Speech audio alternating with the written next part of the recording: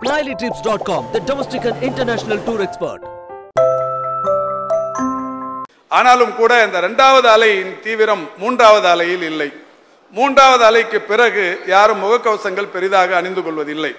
ஆனால் அணிந்து கொள்ள வேண்டுமா என்றால் அறிவுறுத்தல் என்றால் நிச்சயம் அணிந்து கொள்வது என்பது அனைவருக்குமே நல்லது அவசியம். ஆனால் கட்டாயம் என்று வருகிற போது இது மருத்துவமனைகளில் தான் இந்த பரவல் என்பது கூடுதலாகிக் கொண்டிருக்கிறது.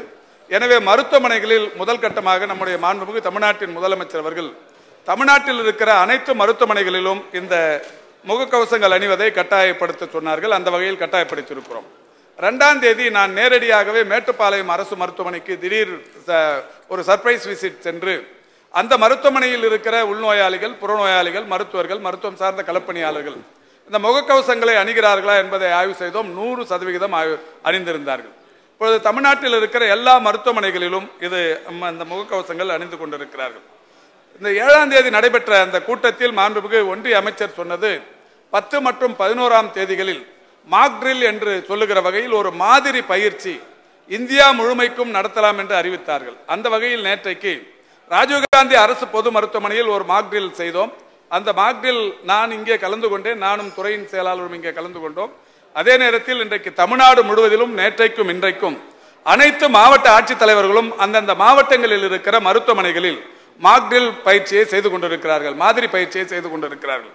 அதாவது அந்தந்த மருத்துவமனைகளில் எவ்வளவு படுக்கைகள் இருக்கிறது எவ்வளவு ஆக்சிஜன் வசதிகள் இருக்கிறது எந்த அளவுக்கான அவசர ஊர்திகள் இருக்கிறது மருந்துகளின் கையிருப்பு எவ்வளவு இருக்கிறது போன்ற பல்வேறு விஷயங்களை மாவட்ட ஆட்சித்தலைவர்கள் இன்றைக்கு ஆய்வு செய்து கொண்டிருக்கிறார்கள்.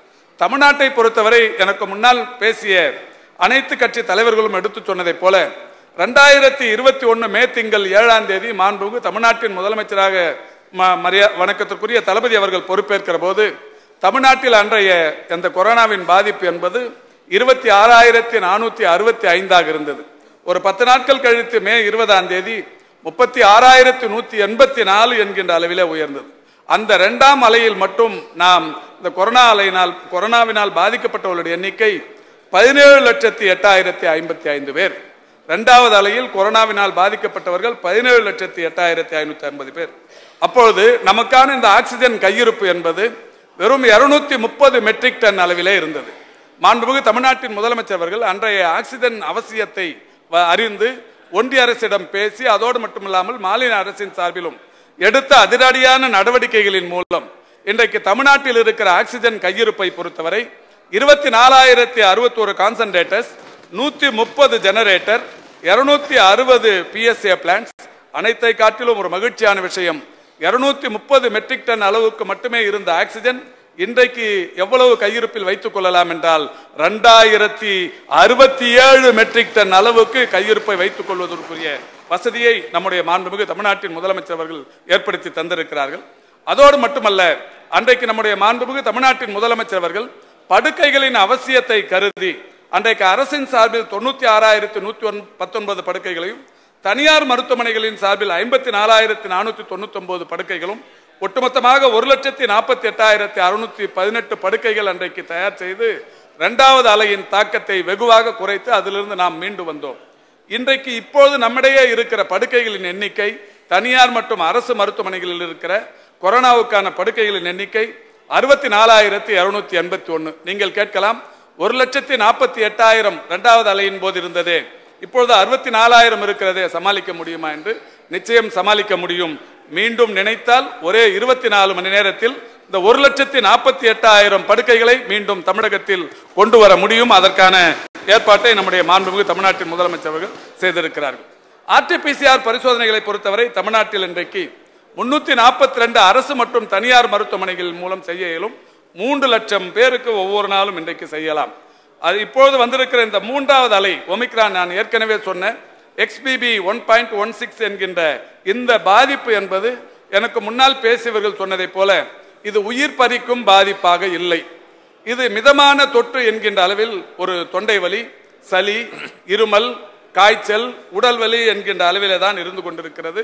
இதனால் யாரும் மருத்துவமனைகளில் ஆக்சிஜன் வசதி வேண்டும் என்கின்ற வகையிலேயோ அதிதீவிர சிகிச்சை பிரிவுக்கு வர வேண்டும் என்கின்ற நிலையிலேயோ யாரும் வரவில்லை என்பதை நாம் அனைவருமே உணர்வோம்.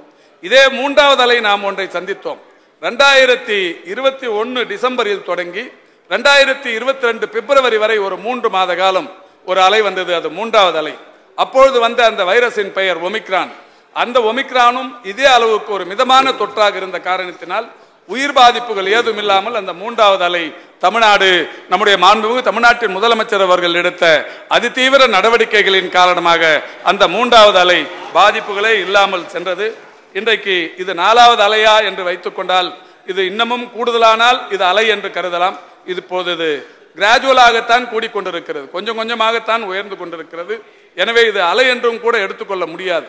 ஒவ்வொரு நாளுமே ஒரு ஐந்து பத்து என்கின்ற அளவிலே தான் கூடிக்கொண்டிருக்கிறது. கிளஸ்டர் என்கின்ற வகையில் பாதிப்பு இருந்தால் அது அலை என்று எடுத்துக்கொள்ளலாம் ஒரு பள்ளியில் ஒருவருக்கு பாதித்து ஒரே நேரத்தில் ஒரு நூறு பேர் இரநூறு பேர் பாதிக்கப்பட்டார்கள் என்றால் கிளஸ்டர் ஒரு கிராமத்தில் ஒருவருக்கு பாதிப்பு ஏற்பட்டு அவரின் மூலம் இந்த கிராமத்தில் இருக்கிற மொத்த பேரும் பாதிக்கப்பட்டார்கள் என்றால் கிளஸ்டர் இது இல்லை. இண்டிவிஜுவல் பாதிப்பு என்கின்ற வகையிலே தான் இது இருந்து கொண்டிருக்கிறது. எனவேதான் இன்றைக்கு மருத்துவமனைகளில் முகக்கவசம் கட்டாயம் என்று அறிவித்திருக்கிறோம். என்றாலும் மாண்புமிகு தமிழ்நாட்டின் முதலமைச்சர் அவர்கள் நேற்றைக்கு கூட எங்களிடத்தில் சொன்னது இந்த எண்ணிக்கை பெருகும் பட்சத்தில் தமிழ்நாடு முழுவதிலும் இந்த முகக்கவசங்கள் அணிவதை பொதுவாக பொது இடங்களில் மக்கள் கூடுகிற இடங்களில் சமுதாய நிகழ்ச்சிகள் சமூக நிகழ்ச்சிகள் அரசியல் நிகழ்வுகள் இப்படி பெரிய அளவில் மக்கள் கூடுகிற இடங்களில் முகக்கவசங்கள் அணிவதை இன்னமும் கொஞ்சம் கூடுகிற போது இதே தமிழ்நாட்டில் ஒரு ஐநூறை தாண்டுகிற போது அல்லது ஆயிரத்தை தாண்டுகிற போது அந்த மாதிரியான ஒரு கட்டாய நிலையை கொண்டு வரலாம் என்று அறிவித்திருக்கிறார்கள். நிச்சயம் இப்பொழுது அந்த பெரிய அளவிலான பதட்டம் இல்லை என்பதை நான் இங்கே இருக்கிற அனை அனைத்து சட்டமன்ற உறுப்பினர்களுக்கும் தெரிவித்துக் கொள்கின்றேன். மாண்புமிகு எதிர்க்கட்சி தலைவர் அவர்கள் இறப்பு குறித்து பேசினார்கள். அவர் நேற்றைக்கு இரண்டு இறப்புகள் என்றால் நேற்றைக்கு ஒன்று செங்கல்பட்டில் ஒரு அறுபத்தி ரெண்டு வயது பெண்மணி அறுபத்தி மூன்று வயது பெண்மணி ஒருவர் இறந்திருக்கிறார். இதுவரை கடந்த ஒரு மாதத்தில் ஒரு ஐந்து இறப்புகள் கொரோனா பாதிப்பு என்று குறிக்க- குறிப்பிடப்பட்டிருக்கிறது. இது இன்சிடென்டல் கொரோனா டெத் என்று தான் இன்றைக்கு அறிவிக்கப்பட்டிருக்கிறது. கொரோனா பாதிப்பு என்றால் நேரடியாகவே கொரோனா பாதிப்புக்குள்ளாகி மருத்துவமனையில் அனுமதிக்கப்பட்டு அதனால் ஏற்பட்ட இறப்புகள் அல்ல. திருப்பூர் மாவட்டம் வெள்ளக்கோய் வெள்ளக்கோயிலைச் சேர்ந்த ஒரு எண்பத்தி ரெண்டு வயது முதியவர் ஒரு அதி மிக நீண்ட நாட்களாக இருந்த சர்க்கரை நோய் அதன வயது முதிர்வு இதனால் ஏற்பட்ட பாதிப்பு அவர் இறக்கும் தருவாயில் அவருக்கு சுவாப் எடுத்த போது அவருக்கு கொரோனா இருப்பது கண்டறியப்பட்டது.